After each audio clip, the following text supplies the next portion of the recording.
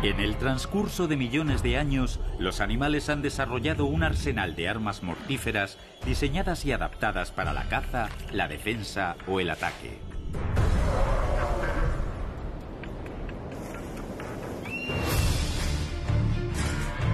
Los dientes, las uñas, los cuernos, la electricidad, los aguijones, el camuflaje, los olores y las toxinas se emplean con efectos devastadores dentro del arsenal animal. El empleo de venenos y toxinas para matar o inutilizar a los enemigos ha sido copiado por el hombre desde que vio a los animales utilizarlo.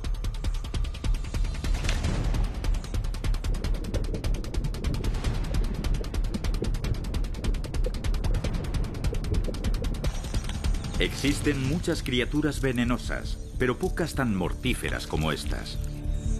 Aunque el ruido de sus escamas caudales avisa a sus presuntos depredadores, el veneno de la serpiente de cascabel es valiosísimo a la hora de protegerse o de buscar alimento.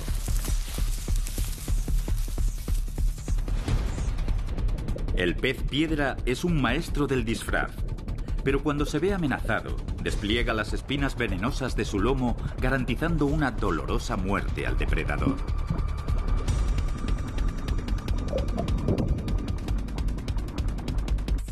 Por otra parte, el escorpión es un símbolo aterrador desde hace miles de años a causa de su oscilante cola, capaz de inyectar una dosis letal de veneno en sus víctimas.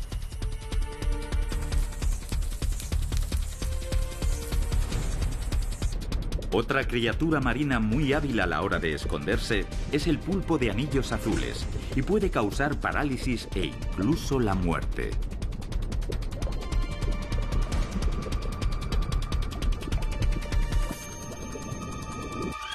Los sapos marinos se han introducido en países donde no habitaban y a causa de las toxinas de su piel, casi todos los depredadores los evitan, permitiéndoles dominar extensas zonas. La araña de Sydney se aferra a su víctima clavándole varias veces sus enormes colmillos para inyectar un veneno capaz de matar a un hombre en menos de 15 minutos. El monstruo de Gila posee un veneno tan potente que los vaqueros narraban historias acerca de su mortal mordedura.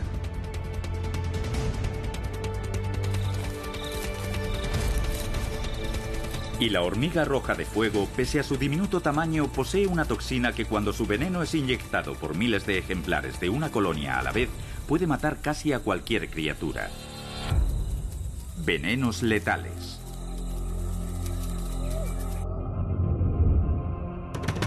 La serpiente de cascabel. Las imágenes de las deidades más poderosas veneradas por los aztecas y los mayas eran adornadas con representaciones de la cascabel, su serpiente de las visiones, que hacía de canal de comunicación entre este mundo y el otro. Y la identificación de este reptil con la muerte tiene sus motivos.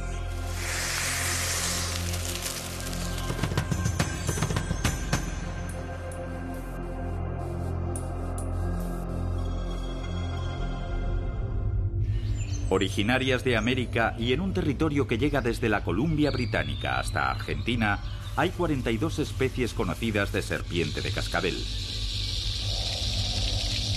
Su tamaño puede variar entre los 30 centímetros y los 2 metros y medio.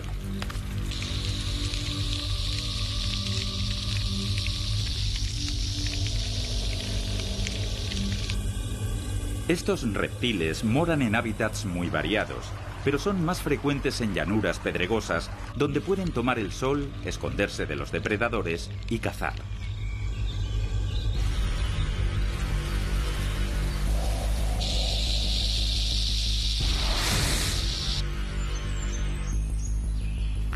Suelen alimentarse de animales pequeños como aves, lagartos y roedores.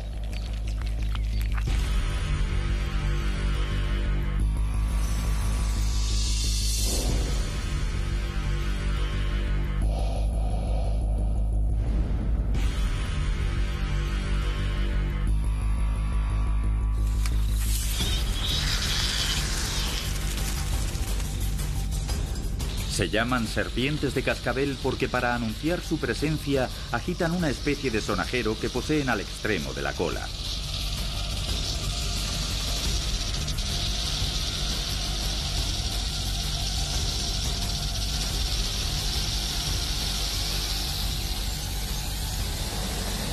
Ciertos roedores y la serpiente rey, inmunes a su veneno, no prestan atención a este sonido.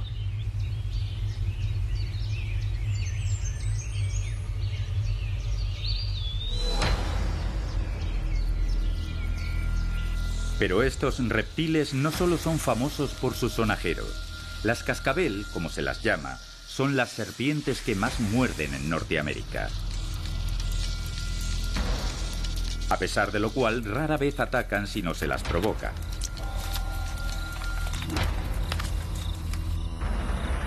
Para cazar pueden esperar pacientemente a sus presas o buscarlas activamente por los agujeros.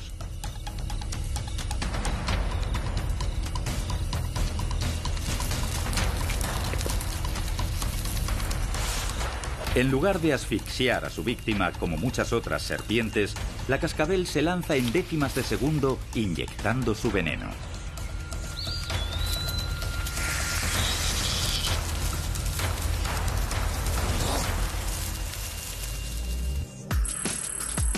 Las serpientes de cascabel inyectan veneno con los colmillos. Lo transmiten por un conducto procedente de las glándulas situadas en la zona externa de la mandíbula superior. Al morder, los músculos que rodean dichas glándulas se contraen, comprimiéndolas y haciendo que las toxinas lleguen a los colmillos. Cuando no se usan, los colmillos se pliegan contra el paladar.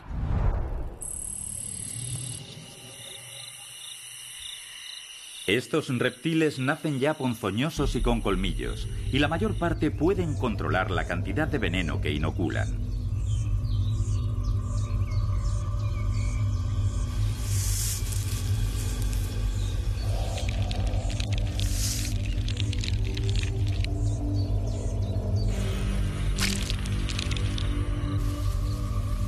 Sus toxinas destruyen los tejidos e impiden que la sangre se coagule. Un mordisco de una cascabel puede causar una parálisis grave.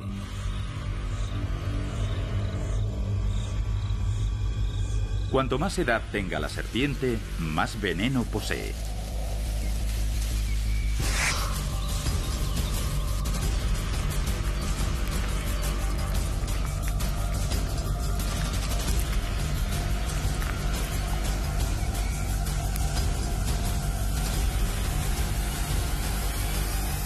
Al ser mordida, la presa no muere inmediatamente, sino que parece escapar ilesa. Pero el veneno no tarda en hacer efecto. Mediante el olfato, la serpiente sigue el rastro de su víctima hasta encontrarla muerta.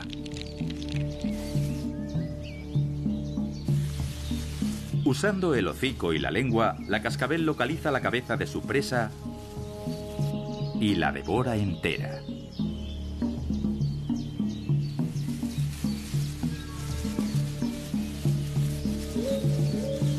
Los jugos digestivos de estas serpientes son muy potentes. Deshacen carne, huesos, plumas y cualquier otra cosa. Si el animal era muy pequeño, la cascabel seguirá cazando. Pero si es lo bastante grande, buscará un lugar seguro y cálido en el que descansar mientras hace la digestión, hasta que tenga que volver a salir de caza. El pez piedra.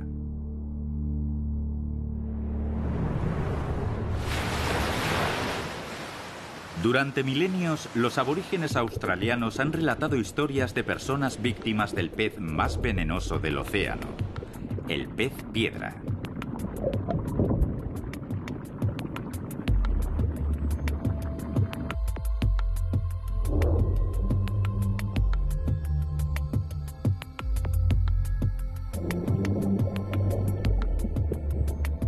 Este habitante de las regiones costeras del Indo-Pacífico es extraordinariamente peligroso, letal incluso para el hombre.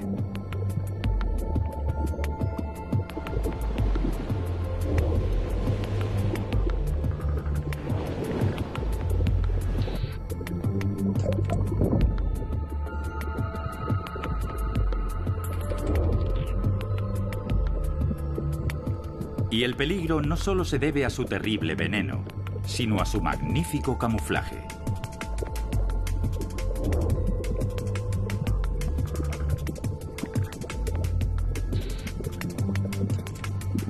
El pez piedra suele ser de color gris o pardo, con manchas amarillas, naranjas o rojizas, y se puede confundir con una piedra o un coral.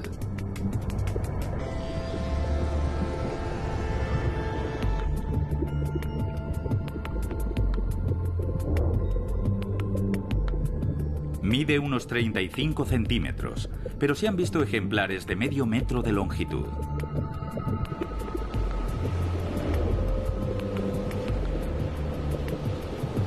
Suelen encontrarse ocultos entre corales o piedras. Pero algunos prefieren enterrarse en los fondos arenosos.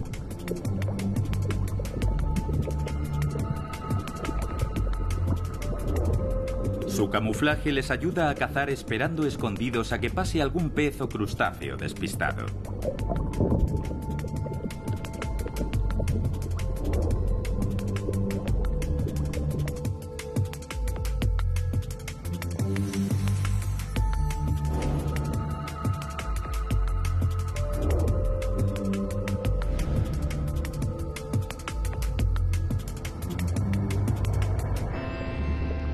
Se podría pensar que este pez tan peligroso emplea su veneno para cazar. Pero no es cierto.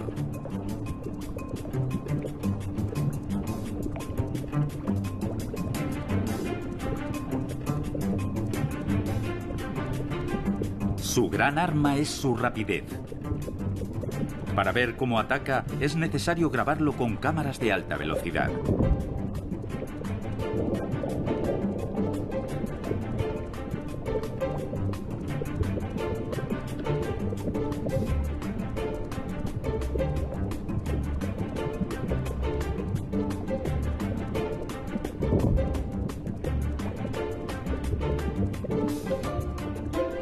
Embargo, se sirve del veneno como mecanismo de defensa.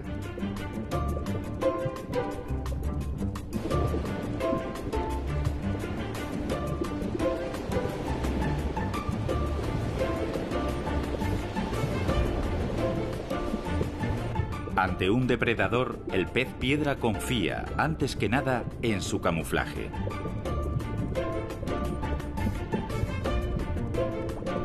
Si eso falla, utiliza su veneno.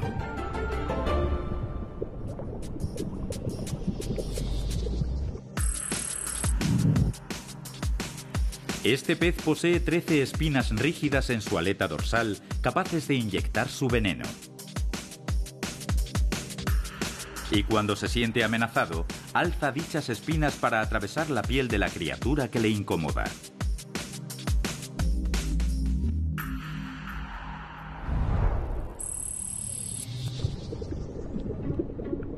Su veneno contiene citotoxinas y neurotoxinas.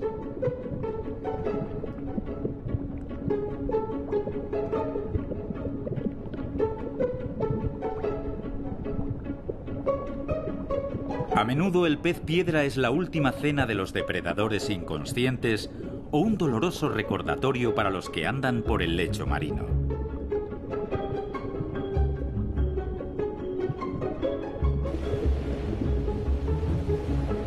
Esta criatura tan esquiva como mortífera espera para usar su mayor arma cuando sea necesario.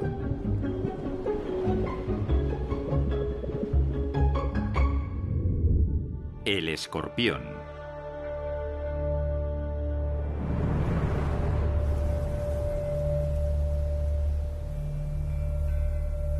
A menudo descritos como seres prehistóricos, los escorpiones existen desde hace más de 400 millones de años, cuando vivían los dinosaurios. Y siempre han inspirado terror al hombre a causa de su feroz aspecto y su enorme aguijón.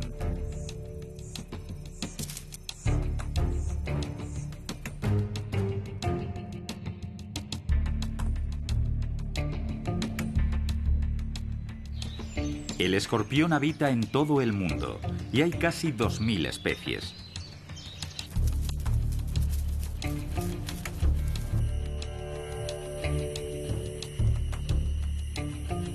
Capaces de sobrevivir en casi cualquier hábitat, desde el desierto hasta la selva tropical, la vida media de estas criaturas es muy variable, de 6 meses a 25 años. Estos arácnidos, emparentados con las arañas y las garrapatas, suelen pasarse el día bajo las piedras o escondidos en alguna grieta.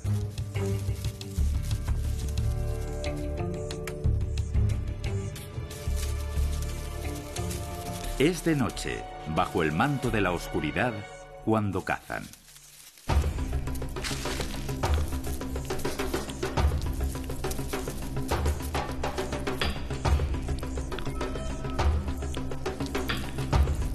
Cazan en el mismo territorio durante toda su vida, pero emplean varios métodos para conseguir alimento.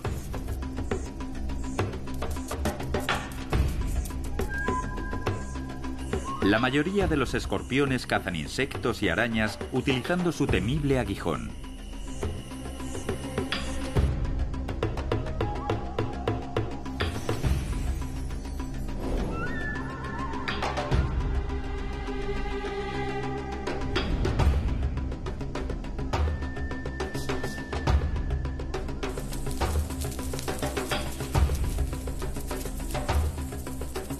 Algunos esperan junto a su madriguera con las pinzas abiertas y el aguijón preparado para lanzar un ataque sorpresa a sus víctimas.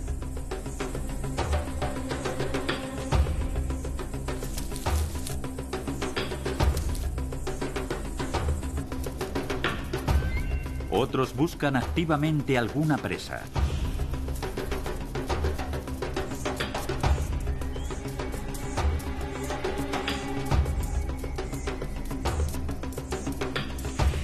Como son cortos de vista, emplean unas estructuras sensoriales parecidas a cepillos situadas en sus patas para encontrar su camino.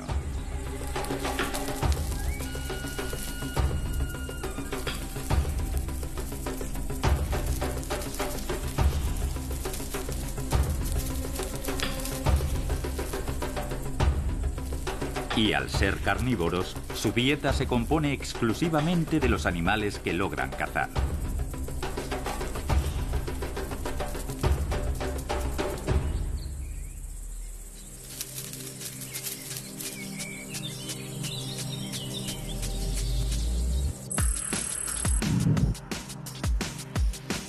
Con las enormes pinzas que posee en el primer par de extremidades, sujeta a su presa, para luego atacar rápidamente con el metasoma, la cola que contiene el aguijón.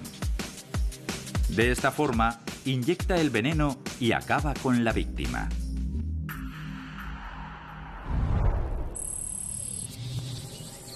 Gracias a su veneno, el escorpión come sin ser molestado.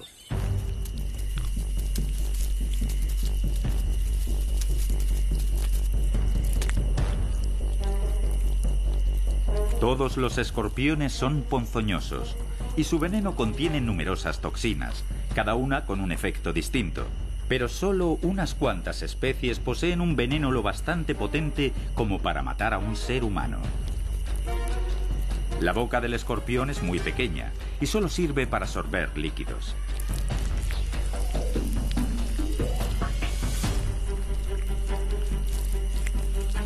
Pero una vez capturada la presa, las enzimas inoculadas disuelven sus tejidos, permitiendo al cazador devorar su interior por completo.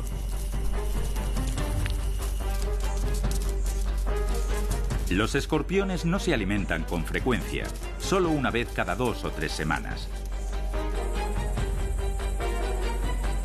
Pero no solo usan su veneno para la caza, sino también para protegerse. Existen depredadores como las escolopendras, musarañas, búhos, murciélagos y coyotes que comen escorpiones.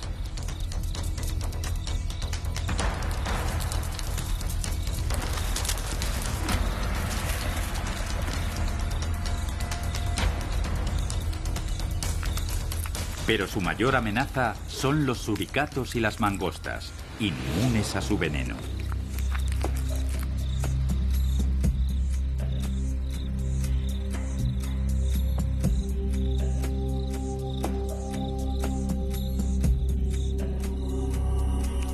Otro peligro son sus congéneres del mismo sexo. Cuando un escorpión macho invade el territorio de otro, en ocasiones luchan a muerte y el vencedor devora a su rival.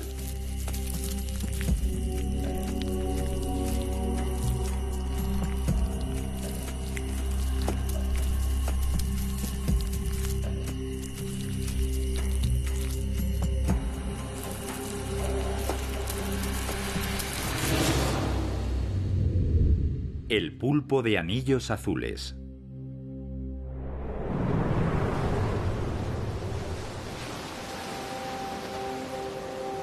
Además de un camuflaje impecable y un cuerpo que puede entrar por las grietas más diminutas, el fascinante pulpo de anillos azules posee un veneno capaz de matar a un ser humano.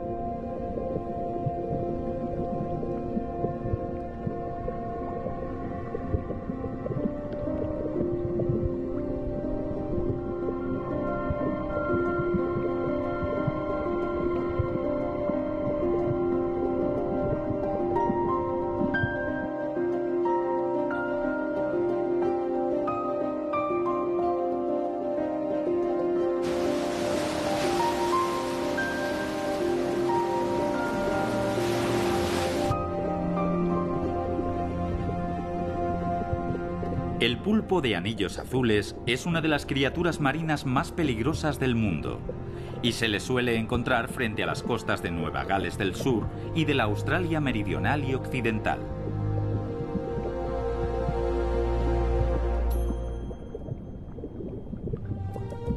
Su esperanza de vida es de unos dos años. Con un tamaño de entre 2 y 10 centímetros y aparentemente dóciles, cuando se los ve cazando cangrejillos, gambas y pececitos diminutos, parecen inofensivos.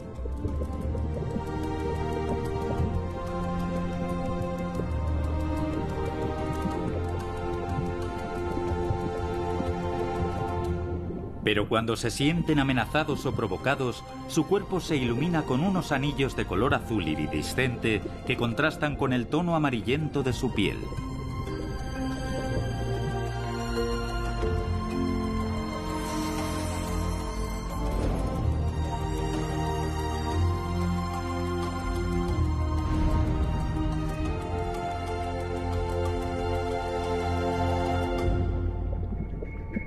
Esto es un aviso de que están dispuestos a atacar inyectando un veneno lo bastante potente para matar a casi cualquier enemigo, incluido el ser humano. Como otras especies de pulpo, el de anillos azules sabe aprovechar su hábitat al máximo.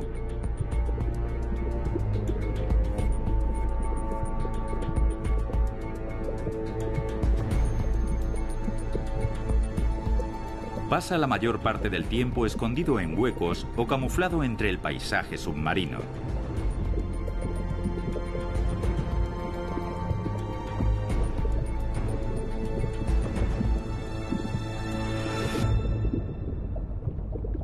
Así se protege de depredadores como las morenas, los meros y los tiburones.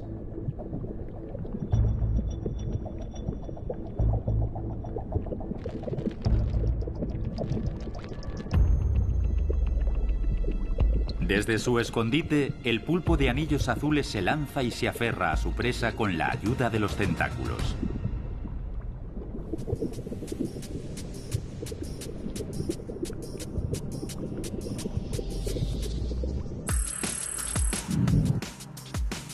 La boca de este pulpo es una especie de pico situado en el centro de sus ocho tentáculos que sirve para romper el exoesqueleto de los cangrejos y las gambas e introducir en el cuerpo de sus presas un veneno producido por las bacterias de sus glándulas salivales.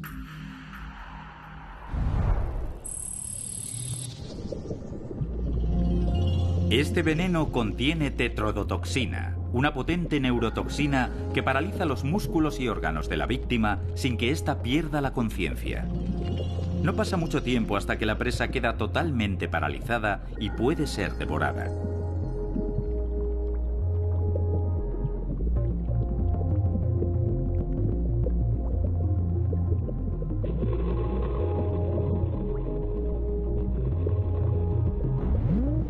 El pulpo de anillos azules lleva dentro suficiente veneno para matar a 26 hombres. Y al no haber de momento ningún antídoto, es uno de los habitantes del océano más fatídicos.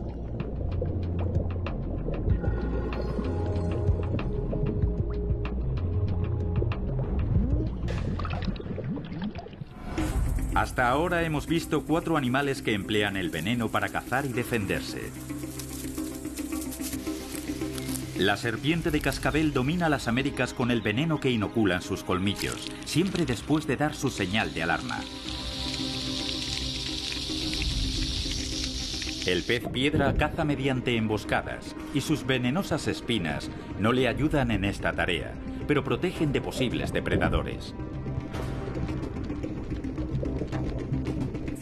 El espantoso escorpión, que habita en todo el mundo, agarra a sus presas con las pinzas antes de clavarles su aguijón, inyectándoles su letal veneno. Y el pulpo de anillos azules se llama así por los círculos de color azul iridiscente que exhibe antes de atacar con un mordisco capaz de matar a un hombre.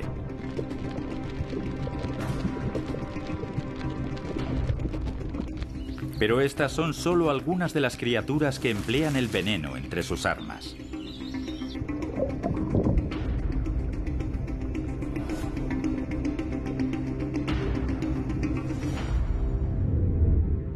El sapo marino.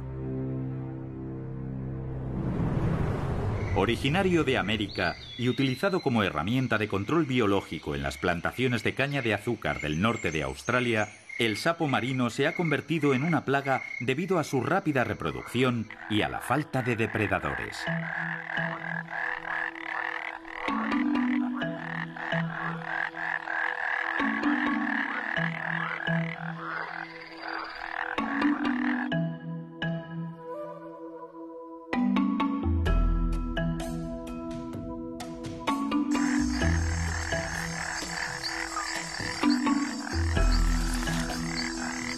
A pesar de su nombre, el sapo marino es un anfibio totalmente terrestre, originario de América Central y del Sur, aunque ahora podemos encontrarlo también en Australia, Oceanía y el Caribe.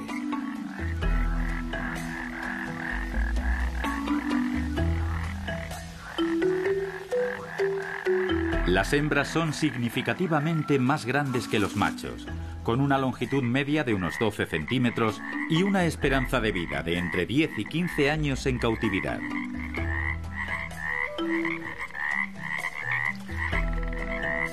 Es un animal muy prolífico y las hembras depositan millares de huevos en cada puesta.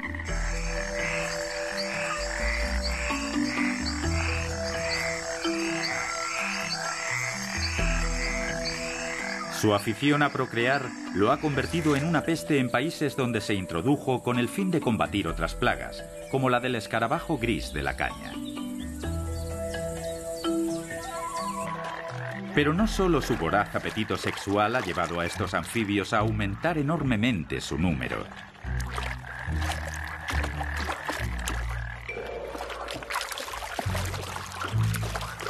La vista es el sentido principal para estos sapos a la hora de cazar, pero también poseen un gran olfato.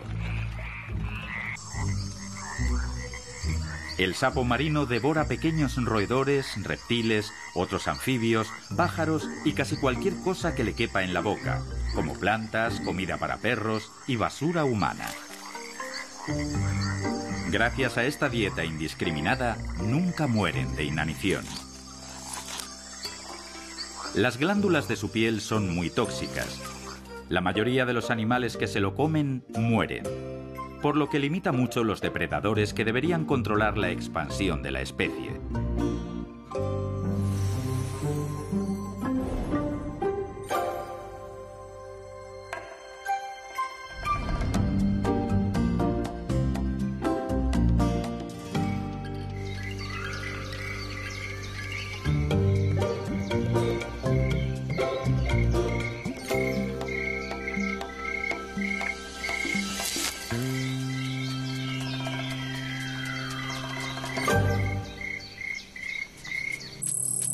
Piel del sapo marino es seca y verrugosa. con unos pliegues sobre los ojos que se prolongan hasta las fosas nasales. Puede ser gris, parda, aceitunada o amarillenta, y con distintos dibujos. Tras cada ojo se sitúa una enorme glándula parótida, y por todo el lomo otras más pequeñas que producen su veneno.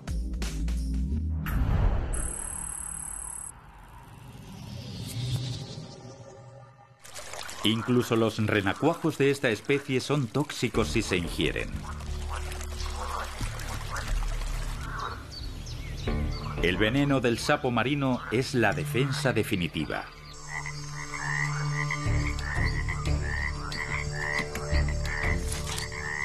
Entre los depredadores de su hábitat natural están el ibis, la anguila, las serpientes y la hormiga bala.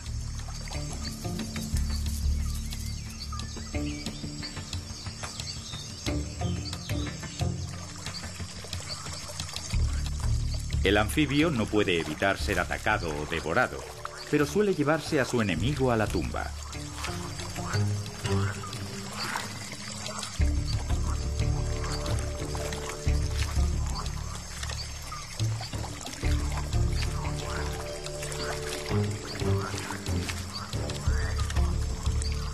Las glándulas de su piel segregan un fluido lechoso llamado bufotoxina, mortal no solo para los animales, sino también para el ser humano si se ingiere. El veneno de este sapo es tan tóxico que le ha permitido adueñarse de varios parajes, transformando una posible solución en un problema aún mayor.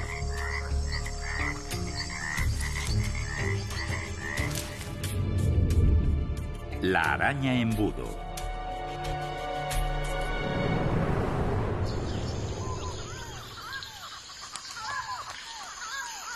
Inspira terror a los que tienen fobia a las arañas desde que fue descubierta.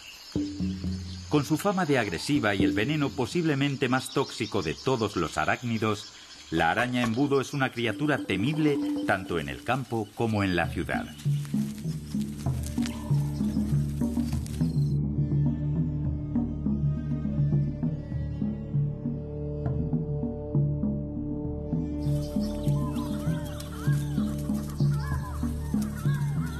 Las arañas embudo forman una subfamilia de los arácnidos que consta de unas 40 especies, todas originarias de Australia.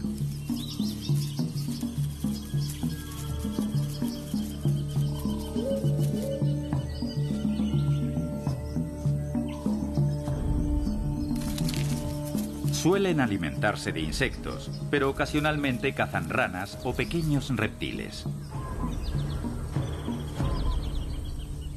Muchas de estas especies producen un veneno letal tanto para los animales como para el ser humano. Y el más potente es el de la araña de Sydney. Las arañas embudo pueden medir desde un centímetro hasta cinco, y la parte frontal de su cuerpo está cubierta por un caparazón. Al final del abdomen poseen largos órganos hiladores, con sus enormes quelíceros inyectan el veneno y despedazan a su presa.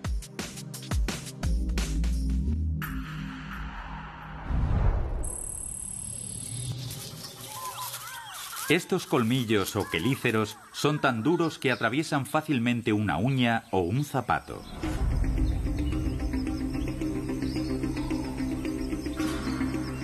La araña embudo habita en lugares frescos y húmedos, por ejemplo, bajo las piedras o en troncos de árboles caídos.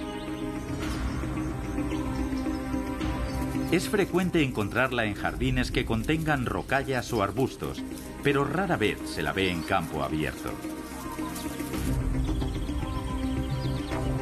La guarida de estas arañas está llena de hilos de seda irregulares que salen de ella.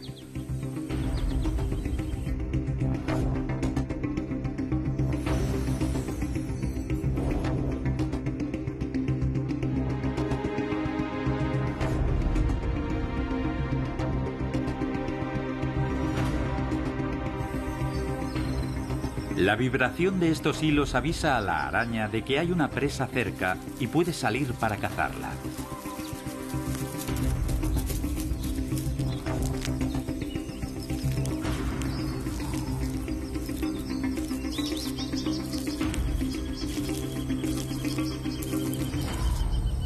Las hembras son mucho más grandes que los machos, pero estos presentan unos quelíceros mucho más largos. Durante la estación cálida, los machos adultos vagan en busca de hembras con las que aparearse. Se sienten atraídos por el agua y con frecuencia acaban cayendo a alguna piscina, donde sobreviven durante varias horas gracias a las burbujas de aire que se adhieren a su cuerpo al hundirse.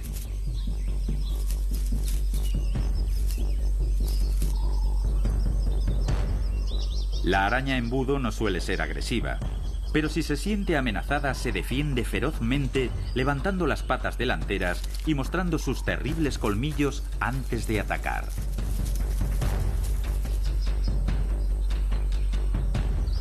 Algunas arañas pueden elegir si inyectar o no veneno.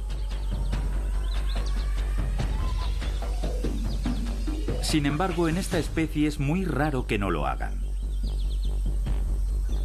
Algunos machos han matado a personas con un veneno específico que solo afecta a los primates. A causa del enorme tamaño de sus quelíceros, la mordedura de esta araña es muy dolorosa y deja heridas sangrantes.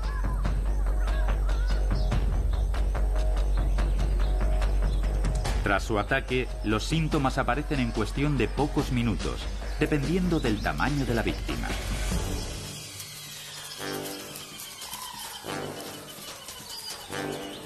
Sin el tratamiento adecuado, una persona puede morir en 15 minutos. El veneno de la araña embudo contiene toxinas que atacan el sistema nervioso del ser humano y otros primates. Curiosamente, no parece afectar al sistema nervioso de otros mamíferos.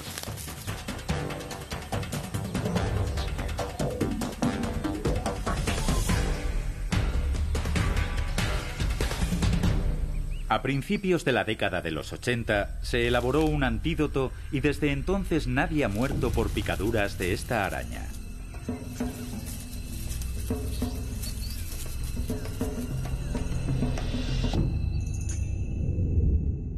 El monstruo de Gila.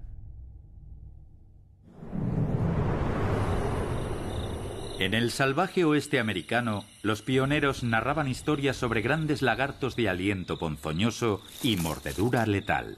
Estos relatos se basaban en sucesos reales y su protagonista era el monstruo de Gila, un lagarto venenoso.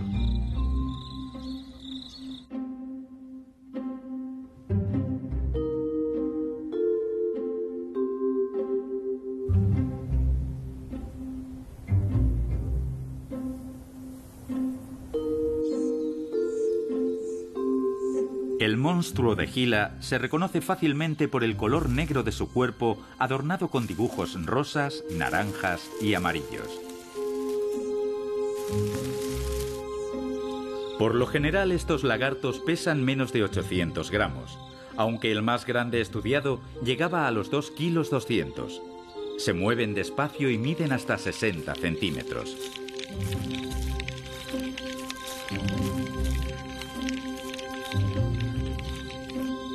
Habitan en zonas de matorral, en desiertos con plantas crasas o en robledales.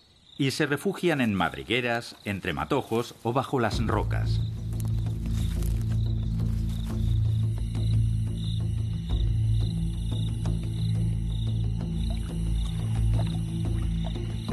Les encanta el agua y a menudo se los ve remojándose en los charcos dejados por la lluvia.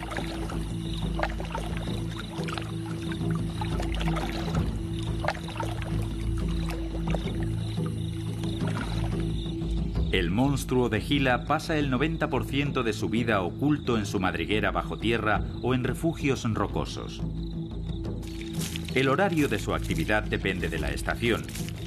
Durante la primavera y a principios de verano pasea y se alimenta por las mañanas, mientras que más avanzado el verano prefiere hacerlo por la noche.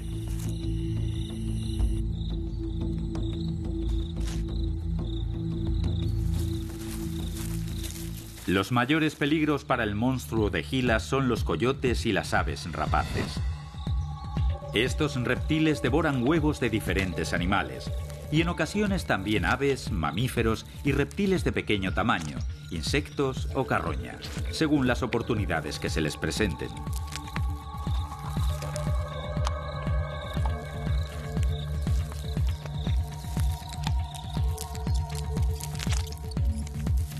Aunque el monstruo de Gila posee una dieta muy variada, come con muy poca frecuencia, de 5 a 10 veces al año.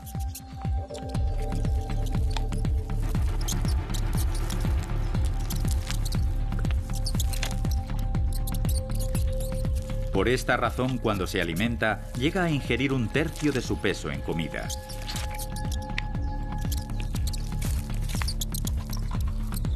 El monstruo de Gila cuenta con un arsenal muy completo. Su olfato es tan agudo que puede localizar huevos enterrados a 15 centímetros de profundidad.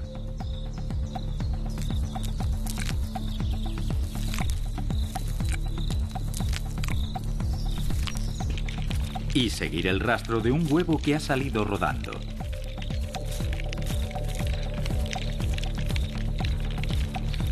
Una vez localiza a su presa, la mata aplastándola con sus mandíbulas o, si es lo bastante pequeña, la devora viva. Pero la búsqueda de alimento no se restringe al suelo. Este lagarto puede trepar por árboles y cactus para buscar huevos.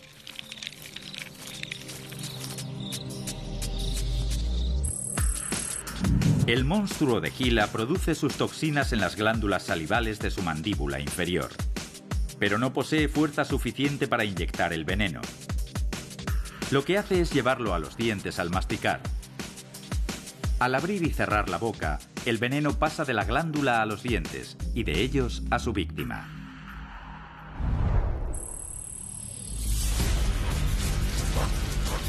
El monstruo de Gila es uno de los pocos lagartos venenosos que existen.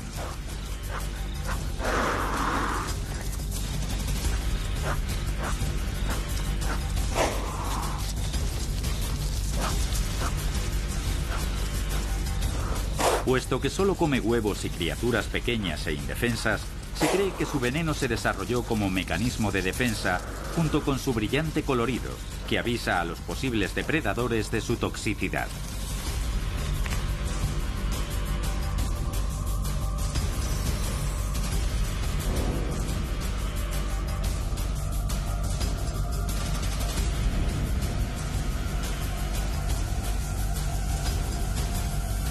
El veneno del monstruo de Gila contiene neurotoxinas, y aunque es tan potente como el de la serpiente coral, este lagarto produce cantidades muy limitadas. Aunque se mueven con lentitud, estos reptiles muerden rápidamente y una vez cierran sus mandíbulas resulta muy difícil y doloroso librarse de ellos. Además de su terrible apariencia, su variado arsenal hace del monstruo de Gila un enemigo formidable para las criaturas que comparten su hábitat.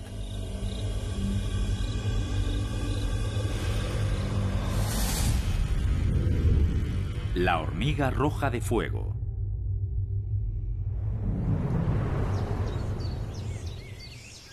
Existen miles de especies de hormigas, pero solo una minoría pica inyectando veneno a sus víctimas. La más famosa de esas hormigas se ha introducido en varios países de todo el mundo, donde en la actualidad es considerada una plaga peligrosa. Fácilmente reconocible por su color rojizo y su dolorosa picadura, la hormiga roja de fuego posee distintos nombres dependiendo de dónde se encuentre.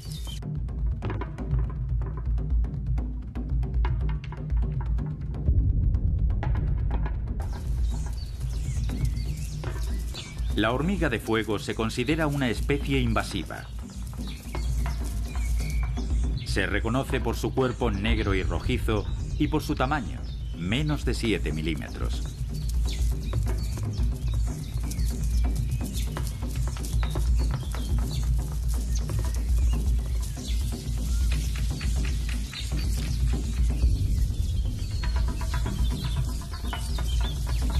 Los ejemplares adultos se parecen a cualquier otra hormiga y muestran la estructura típica de cualquier insecto.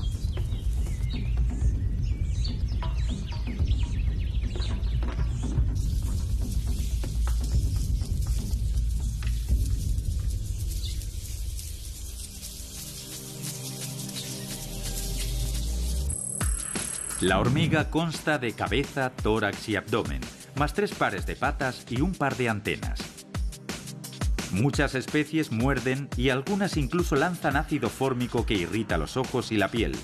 Pero la hormiga roja de fuego posee un aguijón especializado para inyectar su veneno alcaloide, además de fuertes mandíbulas para morder.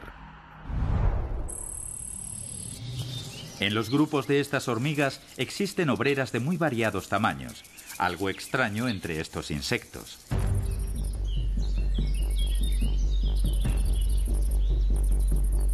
La colonia levanta grandes montículos en zonas abiertas donde recogen principalmente plantas y semillas.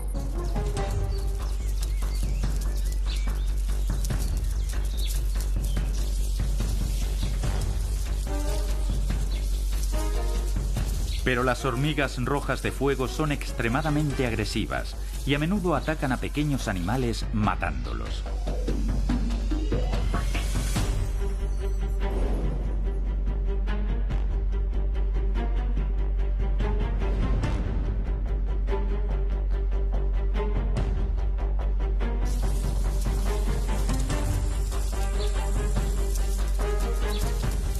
Mientras que otras hormigas muerden y luego echan ácido en la herida, esta especie solo muerde para sujetar a su presa mientras la atraviesa con el aguijón de su abdomen inyectándole veneno.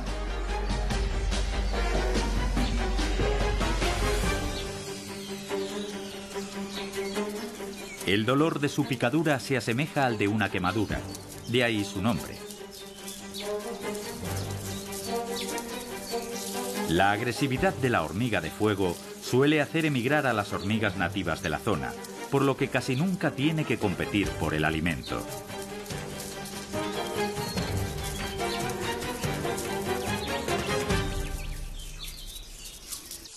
Construyen sus hormigueros cerca de ríos o lagos o en cualquier otro sitio con tierra húmeda. Las entradas suelen estar ocultas bajo una piedra o un tronco. Si no es así, rodean cada entrada formando un montículo de 40 centímetros de altura. Un pequeño grupo de reinas puede formar una colonia, pero aunque solo sobreviviera una de ellas, en muy poco tiempo podría producir miles de obreras.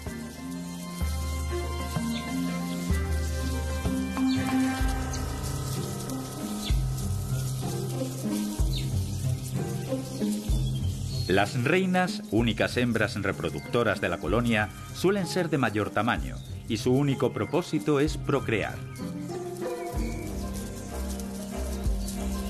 Los machos se aparean con ellas e inmediatamente después mueren.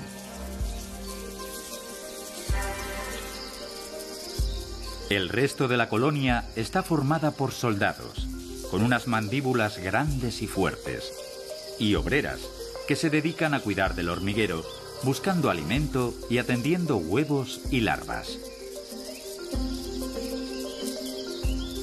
Unas moscas parásitas depositan sus huevos en el interior del tórax de la hormiga de fuego. Y cuando ésta muere, las larvas se trasladan a su cabeza por donde salen las moscas adultas.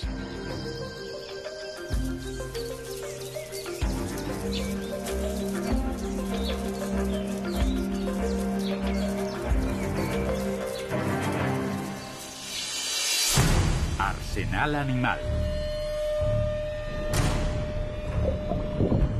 Hace miles de años que el ser humano emplea venenos para ejecutar o asesinar a sus enemigos. Pero aprendió esta técnica de los animales que han seguido evolucionando y perfeccionando el uso de las toxinas en la lucha. Como la serpiente de cascabel, que avisa antes de morder e inyectar su mortífero veneno. El pez piedra, un maestro del disfraz que se defiende con unas espinas ponzoñosas. El escorpión, cuya cola termina en un aguijón cargado de veneno que le sirve tanto para cazar como para defenderse. El pulpo de anillos azules, que aunque pequeño, contiene toxinas suficientes para matar a 26 personas.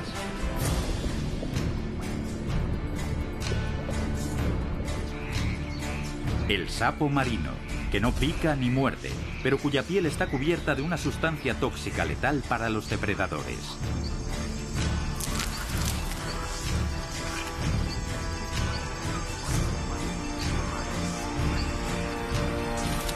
Las arañas embudo se defienden con mordiscos capaces de matar a un hombre en menos de media hora.